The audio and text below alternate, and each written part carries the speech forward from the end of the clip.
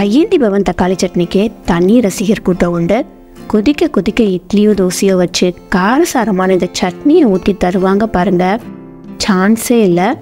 நல்ல ஒரு ஆழமான ஒரு கடையாக எடுத்துக்கோங்க. அதில் அஞ்சு நல்ல எல்லஸாக பழுத்த தக்காளியாக அஞ்சு தக்காளி சேர்த்துக்கோங்க. ரெண்டாக கட் பண்ணி சேர்த்துக்கோங்க.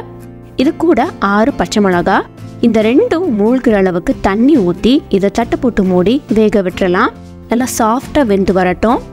வெந்த தக்காளியும் பச்சை மிளகாயும் ஒரு பவுலுக்கு மாற்றிட்டு இதை நல்லா ஆற விட்டுருங்க.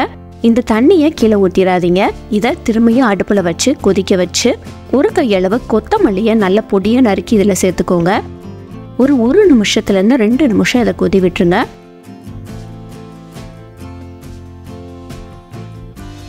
அப்படியே அடுப்பை ஆஃப் பண்ணி ஒரு தட்டு போட்டு மூடி ஓரமாக வச்சுருங்க. அடுத்து மிக்ஸி ஜாரில் ஆற வச்ச தக்காளியும் பச்சை மிளகாயை சேர்த்துட்டு கூடவே அரை டீஸ்பூன் சீரகம் சேர்த்துக்கோங்க.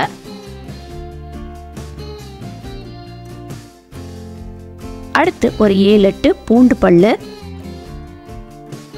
கொஞ்சமாக புளி. இது எல்லாத்தையும் நல்லா வலு வலுன்னு பேஸ்ட்டாக அரைச்சி எடுத்துகிட்டு வந்துடுங்க நல்லா ஸ்மூத் பேஸ்ட்டாக இருக்கணும். இதை அப்படியே நம்ம வேக வச்சு வச்சுருந்த அந்த கொத்தமல்லி தள்ள தண்ணியோட இதில் சேர்த்து விட்டுருங்க. இதுக்கு தேவையான அளவு உப்பு போட்டு நல்லா கலந்து விட்டுட்டிங்கன்னா நமக்கு சூப்பரான கையேந்தி பவன் ஸ்டைலில் ஒரு தக்காளி சட்னி ரெடி. இதுக்கு தாளிப்பு எதுவுமே தேவையில்லை. அப்படியே நீங்கள் சுட சுட இட்லியையோ தோசையிலையோ ஊற்றி சாப்பிட்லாம். அட்டகாசமாக இருக்கும். கண்டிப்பாக வீட்டில் ட்ரை பண்ணி பாருங்கள் தேங்க்யூ தேங்க்ஸ் ஃபார் வாட்சிங்